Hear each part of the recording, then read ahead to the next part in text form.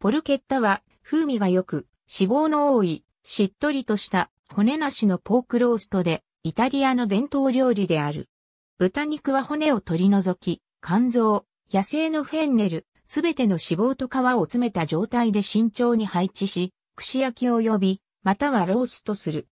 ポルケッタは通常、ニンニク、ローズマリー、フェンネル、または他の多くの場合は野生のハーブを詰めたものに加えて強く塩を加える。ポルケッタはイタリアの農林水産省により伝統的なアグロアリメンターレトラディツィオナーレとして選ばれた。ポルケッタポルケッタポルケッタポルケッタサンドイッチのクローズアップ。全国的に人気があるが、ポルケッタはイタリア中部で始まり、アリッチャが最も密接に関係している町である。他の場所ではお祝い料理とみなされる。イタリアではポルケッタは特に公共の展示会や休暇中に通常は白く塗られた版でピッチャーによって販売されパニーノで提供される。それは、ローマで一般的な屋台の食べ物であり、ラツィオはピザビアンカの詰め物として役立つ。また、多くの家庭で肉料理として、またはピクニック用の料理の一部としても食べられる。ポルケッタは羊のチーズペコリーノロマーノと共に、ラツィオ地方の二つの象徴的な料理の一つである。ポルケッタもアブルッツォで一般的である。ポルケッタアブルッツェーゼは一般的にローズマリー、ニンニク、胡椒でゆっくりとローストされる。ウンブリア州のポルケッタには豚の刻んだ内臓とラード、ニンニク、塩、胡椒と野生のフェンネルがたっぷりと詰められる。ポルケッタトレビジャーナは1919年に開発された。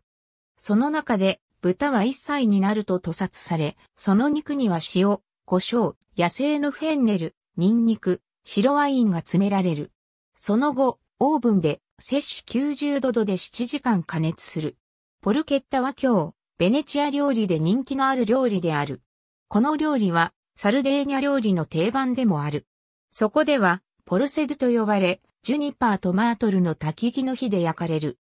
ポルケッタは、20世紀初頭のイタリア人移民、特にアブルッツォからの移民によって、米国に紹介され、イタリアンポーク、ローストポーク、またはイタリアンローストポークと呼ばれることもある。多くの場所でクリーンとプロボローネチーズのサンドイッチで出される。フィラデルフィアとその周辺地域では料理は通常単にローストポーク、ローストポークサンドイッチ、イタリアンローストポーク、ローストポークイタリアン、ローストポーク、またはポーチェッタと呼ばれる。フィラデルフィア料理ではサンドイッチ形式のポルケッタが有名で、通常はイタリアンロールで提供され、ほうれん草の代わりにブロッコリーラーブが添えられることが多く、伝統的には地元で作られた鋭いプロボローネが使用される。ローストポークはフィラデルフィアのイタリア系アメリカ人とサウスフィラデルフィアの両定番里である。リーディングターミナルマーケットのディニックのローストポークやジョンのローストポークなどのレストランがある。サウスフィラデルフィアのトニー・ルークはポルチエッタ、またはローストポークサンドイッチで有名である。コネチカット州ブリッジポートには、20世紀初頭のイタリア移民の最初の波に遡るコミュニティレストランや、居酒屋で提供されるポルケッタサンドイッチの土曜日の午後のランチの伝統がある。料理はペパロンチーニと一緒に出される。ポルケッタとローストビーフのサンドイッチの伝統は毎年3月の第1土曜日にポーケッタプロジェクトが主催するコネチカット州のブリッジボートで毎年開催されるバスツアーの形で祝われる。メトロオエストマサチューセッツはポルケッタの激しいフォローを持っている。地元の組織は非常に人気があり、出席者が多い資金調達者としてポルケッタディナーをしばしば開催している。地元の多くの店が購入、または調理、または未調理のローストを作っている。注目すべき地域は、どちらもイタリア人の人口が多いマッサチューセッツ州、ミルフォードとフラミンガムである。使用されるスパイスはこのエリア内で大きく異なる。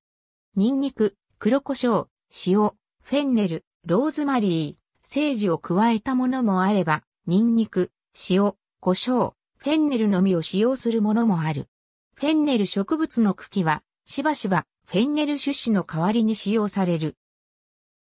これらの地元のローストは、ボストンのお尻、または豚の肩から作られている。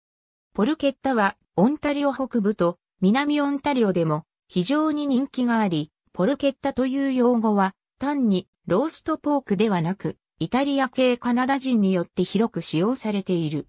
ポルケッタはアッパーミッドウェストでも人気があり、イタリアの移民によってミシガン州とミネソタ州の鉄鉱山に持ち込まれた。サドベリーのポルケッタ文化はおそらくそのネイティブのイタリア以外のどこよりも深く実行されます。イタリア人入植者たちは、この地域の子供たちや友人たちにポルケッタへの愛情を伝えた。